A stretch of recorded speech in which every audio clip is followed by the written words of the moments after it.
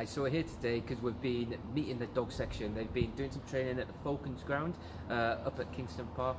And the reason that we're here is because basically one of our dogs that we got from the Dogs Trust has passed our explosive course. So essentially what it means is this this dog that was abandoned as a puppy and given to a charity and, and, and they were worried whether or not it would even get a home has been sent for a career with Northumbria Police.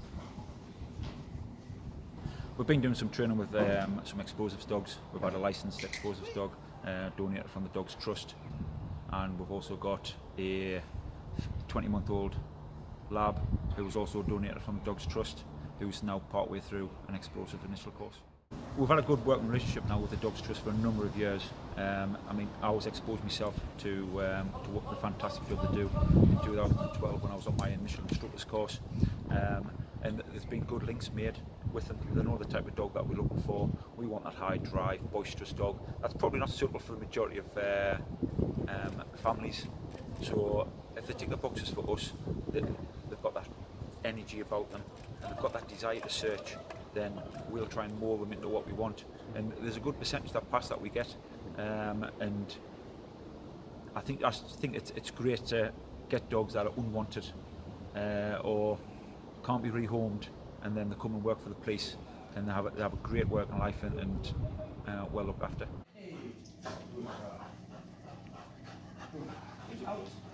We get a number of dogs brought into us for many different reasons, whether they're strays, haven't been covered in a home, that kind of thing. And we basically try and look for the ideal home for that dog. And in the meantime, obviously give them all the enrichment they want, take them lots of walks and uh, take care of them. There's a number of different circumstances why dogs come to us. Um, it can be a change in owner's circumstances, so they might have moved house and they might not be able to take the dog with them.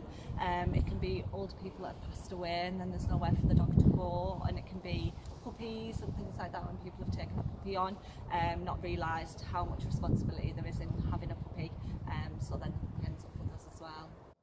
Meg is a 14 year old lurcher. She's absolutely beautiful, lovely nature, great with people and dogs. Um, she came into us through quite sad circumstances really. She was found tied up to a gas canister. Um, so now she's just looking for a nice retirement home. Hi, nice.